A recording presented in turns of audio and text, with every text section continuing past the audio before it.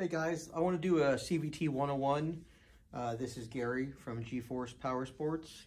We're a mini quad shop focusing on Apex and DRR CVTs. And let's go through a little bit of a CVT 101 because I find it's important that you know, basically the first step is knowing what each component does, what it's responsible for. And what you'll find is that each component has its own job, but at the same time, every change in one area of the CVT will also trigger a reaction throughout the other components. So then you'll have to go back and readjust. Um, so let's get started. All right, so basically what we have here is the uh, CVT system. I have everything taken out for better viewing. So basically you have a rear pulley, you have a front pulley, and you have a belt. So basically how it starts is you have your pulley here, okay? And then your belt will start over here. And when you're in low gear, the belt is going to be all the way at the top of the rear pulley and it'll be all the way down in the front pulley. So what happens is the motor turns, you create RPMs, and the centrifugal clutch with its three shoes, as this turns more RPMs based on the weight and the adjustment of the shoe springs, it will open up and grab the bell, which will now drive the ATV. So if it seems like it's that simple, there's really, it's really a lot more to it than that. So basically, the great part about a CVT is a CVT. The bad part about a CVT is a CVT. So what does that mean? That means it's great when you have it tuned right. Um, often, you know, people are chasing, uh, you know, expectations or uh, performance that they're not even sure what the optimal is. So they just keep changing, changing, changing, throw stuff against the wall, see what sticks, make five chains at a time, and end up going slower, more frustration, and unreliable ATV. So let's talk about each component and basically we'll start back here again. So we have a rear pulley, okay, and this one happens to be a Malossi overrange. And what makes it an overrange is just the basic, the size. The overall size gives you a bigger ratio. Um, and when you go to an overrange, you generally use a longer belt and a bigger front pulley, which with the same aspect is, this is a Malossi overrange too. So it's a bigger mating surface, so you can get more ratio and use a longer belt. One of the benefits of an overrange as well is it reduces the heat in the CVT. So it makes it not have to work so hard, so you get lower low and higher highs, but you also have to have a certain level of performance to realize the gains. All right. So we have the rear pulley, okay? And basically we have the next major component here is the torque spring. So what this does is it sits in a cup in here, then your clutch goes on, and then your bell. So this is how it would look when it was fully assembled. So what happens is, and why it's so important to have the right torque spring and to also change it often, as much as every 15 minutes to 45 minutes. You can see the spring has got some pushback on it. Now there are different colors, there's different strengths, there's different, and it's not just the overall strength. You have to look at how much does it take to compress it versus just the initial push. So there's spring rate, there's different lengths, a lot of variables to take into consideration we always recommend uh, consulting a professional race shop to get your um, baseline for your CVT setup.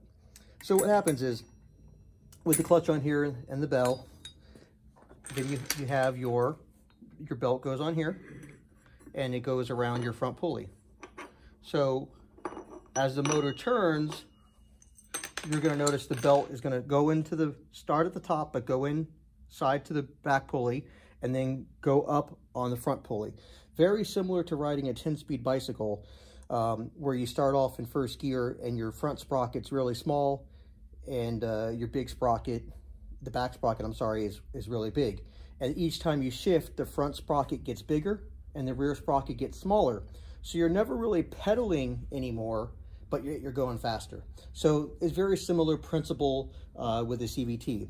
So the motor may not be turning more RPMs, but you're gaining speed, and that's because the belt's going from the top up here and the bottom here and going to the top here and to the bottom here. So that means every revolution of the motor turns the transmission uh, much faster. So that's how you get your speed. So lots of variables, including, you know, what, when is your clutch engaged, what RPM you shifting, max RPM, there's a lot of variables. But back to the basics. So we have our rear pulley, our torque spring, which gives us resistance. We have our belt, which helps give us ratio between the two pulleys. And then what we have is a set of rollers right here. if you can see these. You got six little rollers, and these are over range size. They're 19 by 15.5s. Um, stock use the size 15 by 12.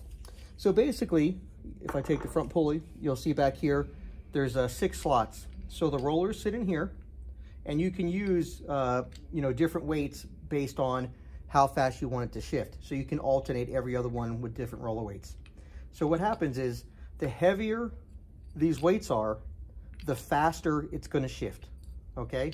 So the trick is to have enough weight that it shifts, so which means it's gonna pull the belt from the top of the rear and pull it up on the front because that's how you accelerate, okay? That's how you're getting faster by turning the same amount of RPMs, okay? So the trick is to shift as fast as you can and hard as you can without bogging the motor. So that's really the big trick. Now, if the rollers are too light, it's gonna rev and not shift, okay? So the belt's not gonna have enough uh, pull to get it up to the top of the front variator, the front pulley here. It's gonna go up to about here. So basically what happens, you wanna have the right roller weight so the motor can shift where it makes horsepower. So basically when I tune something, I'll try to go with the lighter roller weights, do a few runs, and I'll take a marker and I'll put it on the front pulley like a, like a uh, pinwheel. So that way you can either, you can gauge your RPMs at a certain distance and then you can also see how much the belt wipes off. Um, so then it also comes down to, you know, what kind of riding are you doing? Is it uh, woods racing? Is it motocross racing? Because having to tune it for 45 minutes to an hour race versus a 15 minute race, um, that's different, okay? So basically, going back to review this, um, we have the basics, which is your rear pulley, and this is an oversized, so you get more ratio. You have your torque spring, which provides resistance to the shift, and when you let off the gas, it also creates the downshift. You have your centrifugal clutch, which means as it rotates, these shoes will open up and they'll grab the inside of the bell. And that's how you get the engagement to the transmission, okay? So clutch engagement can be controlled in a couple different ways. One is the overall weight of the clutch is the number one factor because if it's lighter or heavier, it can only adjust within a certain range. Now, if you want to fine tune it, we do have what we call clutch shoe springs that can be put in here and they provide more resistance to kind of work within the range of how heavy the clutch is. So a heavier clutch is going to engage earlier and a lighter clutch is going to engage at a higher RPM. So for an entry-level rider, they generally want to replace the stock clutches, put a heavier trail clutch in until the rider gets used to the power. So the high performance guys, they need to raise their stall up high so the clutch will engage where the motor makes torque. So generally with a two-stroke, when you have more horsepower, you create more RPMs to get that horsepower. And at the same time, then you need to engage your clutch at a higher RPM. So it's just finding the right balance of clutch engagement. Um, and like I said, between the weight of the clutch and the shoe springs, uh, those are the biggest items that are supposed to dictate your stall. Now, if you change your roller weight or your belt length, that can affect your stall as well. But once again, we're trying to define what's the clutch's job? What is the clutch shoe spring's job? Their job is to set the clutch engagement RPM. The bell, and a good quality bell is very important for cooling, for better grip, um, no slippage on takeoff. Its job is to, one, see how it's splined, it connects to the transmission.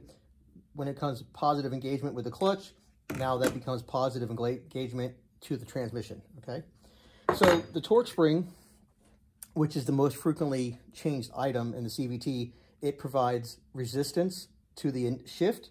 So when the belt's at the top and the motor's turning, it's trying to pull the belt up on the front and the torque spring saying, no, no, no, you're not going anywhere yet. So basically the spring is providing resistance to the shift in relation to the weight of the roller weights.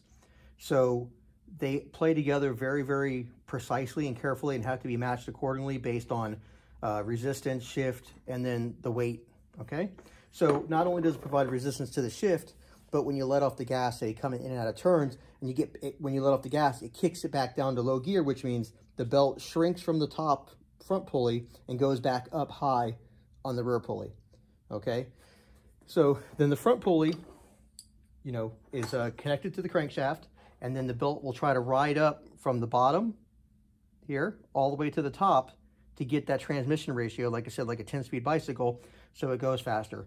So if you put two heavier roller weights in, it may take off good one or two times, or you may get the whole shot, but you'll find after a couple turns, it'll start going brrrr, brrrr, and it'll kind of have like a, almost like you're starting off in like soft sand and then hitting concrete. So it's basically, it's shifting too fast where the motor can't get on its horsepower rating. Okay, so for a quick review, clutch sets the clutch engagement RPM. Bell is the contact between the transmission and the, uh, the pulley system. Torque spring provides resistance to the shift and also allows for the downshift when you let off the gas, go, so it goes back into low gear. The rear pulley provides the ratio and connects the belt to the front pulley. The front pulley has roller weights in it, and basically it provides a ratio based on the angle of the surface to give you uh, a shift rate, okay? So that's the basics of what each one's gonna do. Now, for some reason, people say, oh, I want a higher stall. Let me put lighter roller weights in it. Will that give you a higher stall? Usually it will, but that's not how you want to achieve it because what happens is, even though it's affected the clutch, now you won't get the same shift rate. So the motor's not going to shift as hard. So it's going to make more of a sound than a acceleration. But yet you got a higher stall. So how can that be? Everyone tells me online, oh, lighten the rollers, higher stall. Yes, it does do that. But once again, circling back, if I change the length of the belt, my stall could go up. If I shorten the belt, my stall could go down. So each component has its own job, but anytime you make a change to any one of these, it's going to affect the other one, and you need to look at the overall tuning package, okay? So I'm going to take this cover off, and this is what it looks like when it's assembled. So you can see right now, this is in low gear, okay? We have a clutch here. Take the bell off. So we have our clutch, okay, and this is a big 39 millimeter nut. We do have the sockets for that to make your life a lot easier. And uh, I'm not sure if you can see this, when you lean it forward, you'll see that the belt is actually on top of the rear pulley and it's at the bottom of the front pulley. Okay, let me take this off and show you. Bye-bye. Get out of the way. About that. Um, so basically what happens is you can see that it's sitting at the bottom of the front pulley. Now, the torque spring is applying pressure back here, keeping uh, the belt up high on the rear and low on the front, okay? So what happens is once this motor starts turning, the roller weights start to push the pulley halves together here, and that grabs the belt and forces it upwards, okay? So it's all based on the ratio of the weight, the belt length, the surface angles, and the strength of the spring. So there's a lot of moving components in here, but once again, this is about what does each component do, and then we can do a CVT, you know, uh, tuning thing next. All right. So remember the belt's at the bottom here, top here, springs keeping pressure. Once the motor starts turning, the roller weights compress the two halves here, making the belt go up on the top. Heavier the rollers, the faster it shifts. But if it shifts too fast, you can bog or you won't stay in your power range. Two lighter rollers, the bike's going to rev and not shift. Okay. Once again, you can do the testing with the wheels on the ground. Draw some marker lines here. You know, say at like 200 feet or so.